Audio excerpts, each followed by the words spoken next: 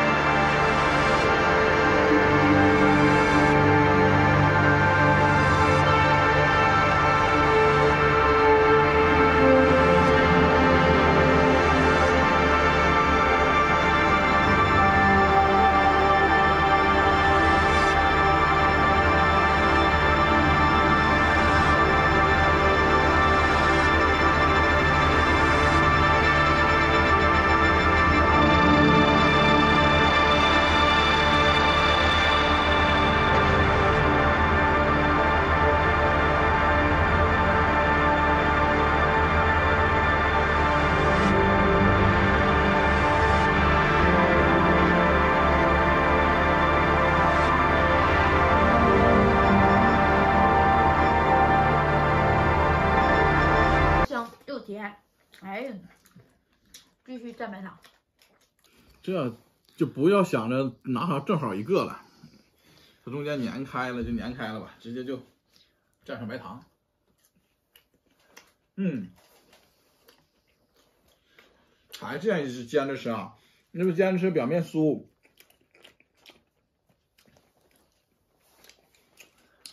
配点咸菜，配点汤，刚刚好啊。